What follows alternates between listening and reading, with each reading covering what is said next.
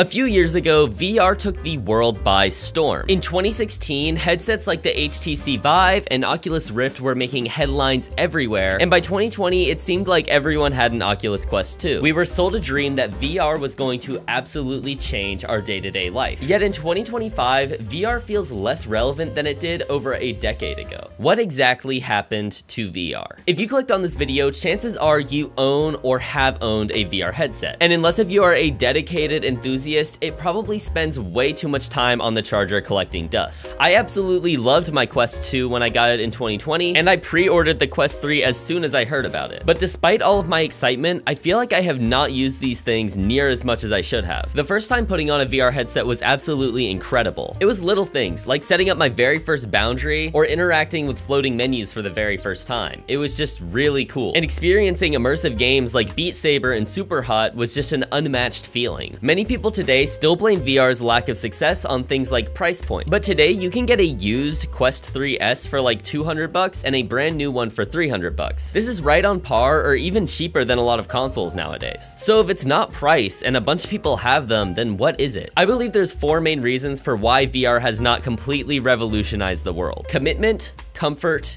games, and a clear vision. Let's talk about commitment.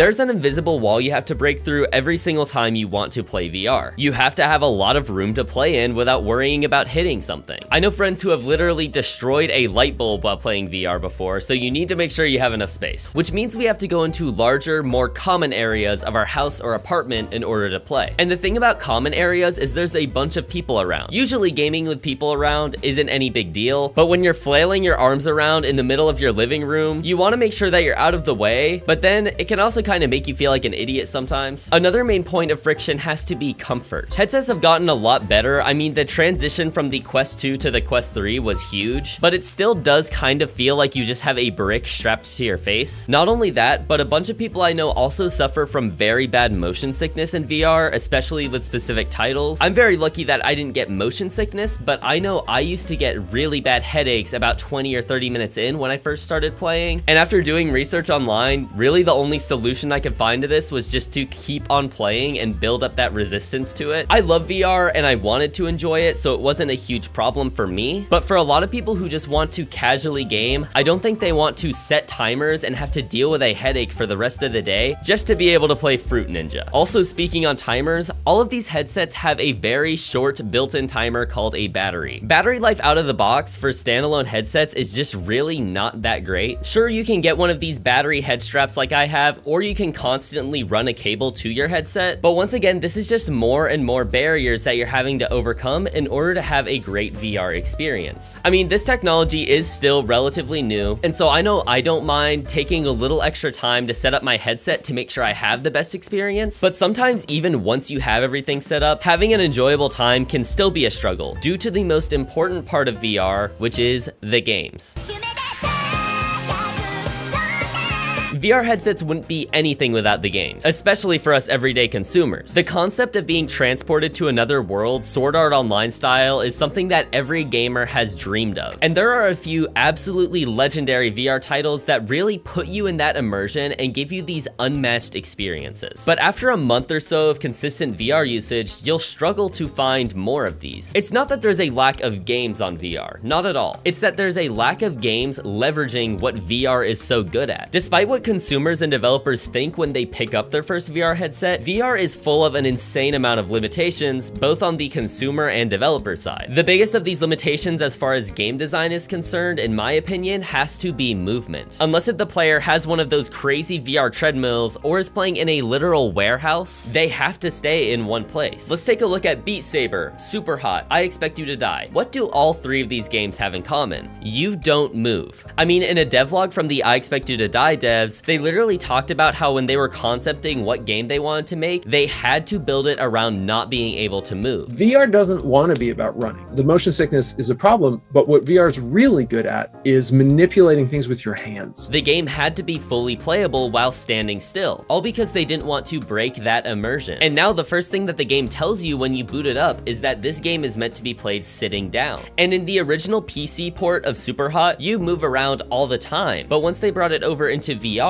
every single level is meant to be played standing still. You can move around a little bit to dodge bullets and things if you need to, but your feet don't have to leave that small boundary. Every single thing you do in the game is caused by you, the player. My biggest pet peeve for any VR game is when I go in and the first thing they want me to do is move with a joystick. It almost always takes me out of that immersion. It takes what could feel like an awesome immersive experience into just a glorified PC game with worse graphics. And the thing is, you don't even have to have the player stand still, you just need to provide good context. A great example of this is games like Gorilla Tag. You have to physically move your arms around in order to move. And in games like Echo VR, Rest Its Soul, you're in zero gravity and move around with rocket boosters and by grabbing and throwing yourself off of walls. I just hate that there's so many games out there that are not trying to come up with creative solutions to this, especially when things like VR treadmills and brain-computer interfaces are either nowhere near the horizon or way too expensive for your average consumer. And I think we would see a lot more of this if the main supporters of VR had more of a clear vision on where they want to go.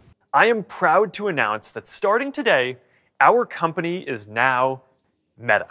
Right now, VR just has no clear vision on where it wants to be with its consumers. There's a ton of great examples on how VR is changing the world for things like simulation and medicine, but the vision for everyday consumers just feels so fragmented right now. On one hand, we have Apple making high-end lifestyle headsets that aren't meant for things like gaming and are more marketed towards things like productivity. And then we have Meta who has literally put in millions of dollars to help support game developers and get stuff on their platform, but now is so focused on creating creating their metaverse that has extremely mixed reviews. Finding support as a VR dev is at an all-time low. And I've talked to a few developers that have been in the VR industry for a good bit, and they're saying once they finish up this game, they're done with VR for a while. They're moving back into PC or console. I was at GDC a few months ago, and I went to the Meta booth there, and I talked to a bunch of developers that were hanging around, and a bunch of employees from Meta. Based on those conversations, it's very clear that Meta's top priority right now isn't to bring new games to the platform. It's all about trying to convert all of their users